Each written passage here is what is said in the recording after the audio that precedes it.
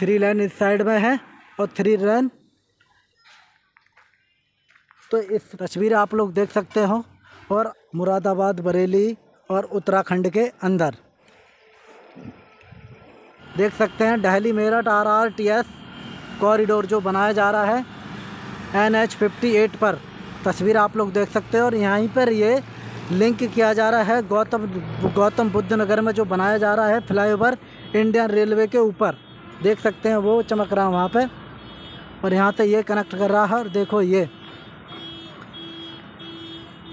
और ये are R T है ही, यहाँ से लिंक कर रही है। और वीडियोस आप लोगों ने यहाँ के नहीं देखे तो देख लेना। मैं आई बटन में लिंक दे दूँगा आप सभी को। देख लेना। तो चलते हैं फ्लाईओवर दिखाते हैं आप लोगों को। अभी देखो, मैंने उधर से दिखाया था आप लोगों को, ये बीच में है रेलवे लाइन।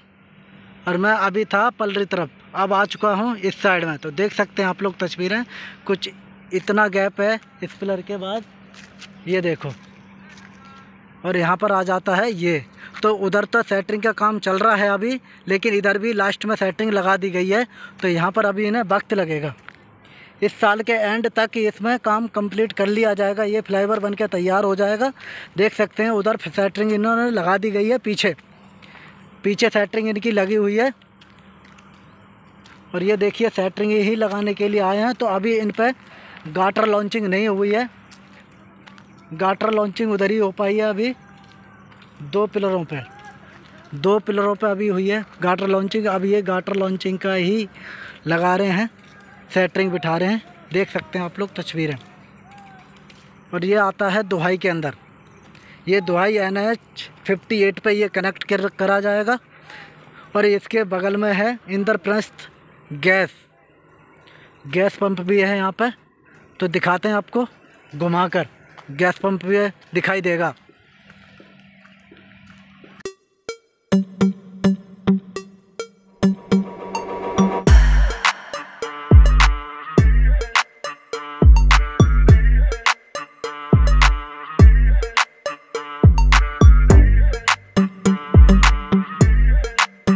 अब ये, अभी हम हैं यहाँ पर बाप, मधुबन बापू धाम के अंदर। देख सकते हैं तो यहाँ तक चले आए हम उस फ्लाईओवर को बनाते हुए। ये ये है ड्रेनेज सिस्टम। इसमें पानी भी भरा हुआ है बरसात का। तो ये कुछ हाईवे निकल के जा रहा है, देख सकते हैं आप लोग। और ये सिक्स लेन का हाईवे है। ये देखो इस पर रोडी बजरी पड़, अब बजरी पलना, कंक्रीट मतलब स्टार्ट हो चुका है। ये जा रहा है कुछ इस तरीके से, क्योंकि ये सीधा आपको बता दूँ एनडीआरएफ होते हुए, पुलिस लाइन एनडीआर एनडीआरएफ होते हुए ये यहाँ से कनेक्ट किया गया है, और ये निकलता हुआ आपका निकलेगा जाके, ये निकल जाएगा आपका इस पर ईस्टर्न पेरीफेरल के ऊपर।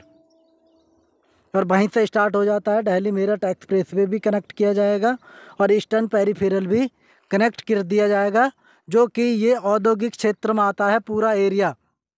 मधुबन बापू धाम, ये औद्योगिक क्षेत्र के अंदर आता है तो इसलिए ये हाईवे बनाया जा रहा है ताकि माल का आना जाना आसानी से हो सके सिटी के अंदर। तो इसलिए ये बनाया जा रहा है और इधर से ही हम निकलते हुए चलेंगे। देखो, वहाँ पर जो बिल्डिंग बनी हुई है वो, ये वाली जो बिल्डिंग है पेड़ के पीछे, ये यहीं पे जाके निकलता है तो आपको दिखाते हैं वहाँ पर का एरिया। कि वहाँ पर मधुबन बापू धाम थाना भी बना दिया गया है, क्योंकि अभी यहाँ पर ये जो किसानों की ज़मीन है, वो एक्वायर नहीं हुई है। और जिस दिन ये लैंड एक्वायर हो जाएगा, उस दिन ये कंप्लीट कर लिया जाएगा।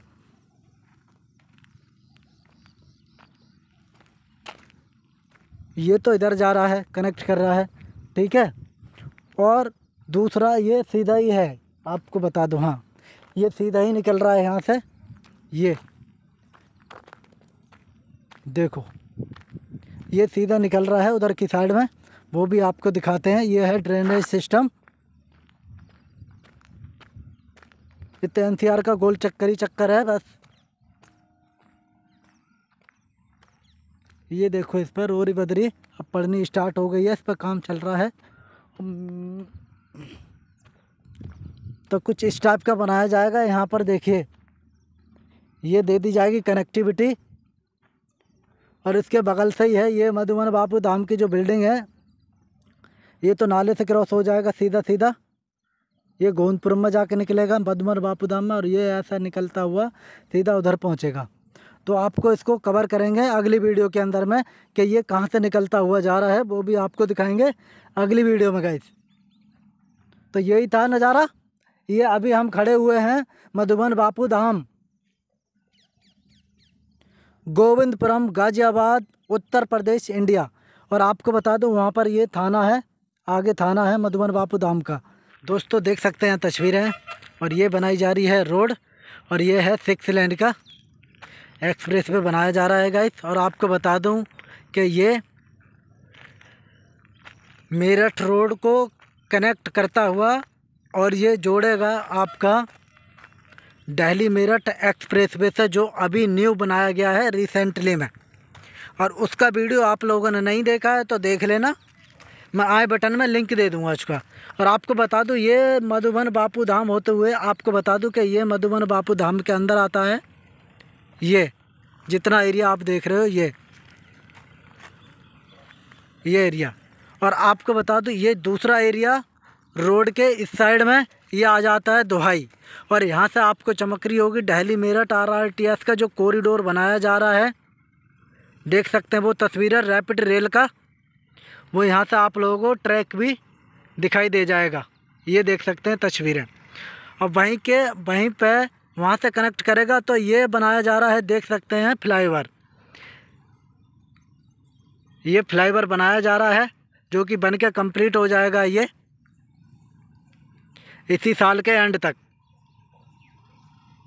अब बगल से ही है रेलवे फाटक, वहाँ पर तो वो क्लोज कर दिया जाएगा और ये मेन रोड हो जाएगी। यहाँ कनेक्ट कर दिया जाएगा इसको। तो आने जाने वालों के लिए बहुत सुविधा हो जाएगी और ये दुहाई के अंदर ही आते हैं फ्लैट और यहाँ पर ये दो टंकी बनी हुई हैं ऑलरेडी बनाई हैं। तो यहाँ इन्होंने ये प्लॉटिंग की हुई है। और जिसको भी यहाँ किसी को लेना है, अगर अपना प्रॉपर्टी बनाना चाहता है तो यहाँ पर आ सकते हैं आप लोग। क्योंकि जो यहाँ पर इसके रेट हैं, ज़मीन के, वो हैं थर्टी और फिफ्टी के बीच में।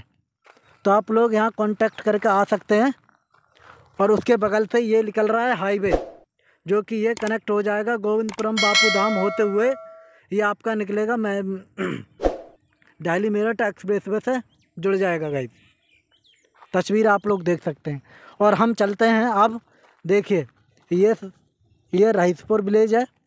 ये सामने वाला जो बिल्डिंग चमक रही है और ये मेरे पीछे वाला है रईसपुर